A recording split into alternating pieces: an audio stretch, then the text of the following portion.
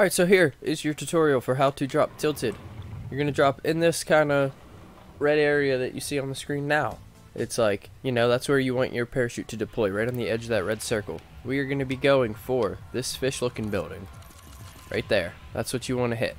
Because it's pretty good, and nobody really drops there, and you'll be able to get some good loot, and then you can get out, start killing people. So, if you follow the little guide of the red thing that I put up, the little red area, that's where you're going to go. So you just drop, usually like a 45 degree angle is your best like trajectory you want to try to like hit so that your parachute deploys at a certain point. But I digress. You can do what you want. You're your own person. Alright, so your parachute comes out. Go right for the little fish looking building. The Jesus building. It's pretty good. Whenever you get close, you're going to want to look at the roof, see if you want to land on the roof. Because sometimes there's good weapons up there. Usually there isn't. But you can take a little peek. Like right now, we got a green tac shotgun. We're going to want that. So we get that real quick. Grab this. You want to come to the very south side. Break this roof in. And you can grab this chest really quickly.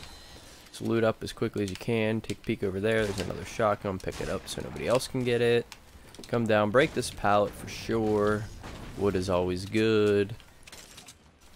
Always stay organized because that's how you win when you get used to your setup. Grenades, don't care. There's always, not always, there can be another chest in here.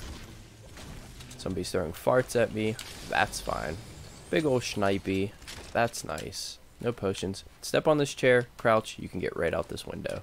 Nobody ever expects it. They expect you to come down the stairs. That's like, you know, obviously you want to be unpredictable, and this is the best way to be. And then I always just build up here into these L's, to the L buildings. Nobody ever really expects that either.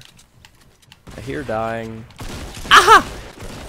And then I died. But usually you won't die if you're not bad. But I'm bad, so I died. There you have it. That's the tutorial. In just like two minutes, you're good. You get all looted up. Nice.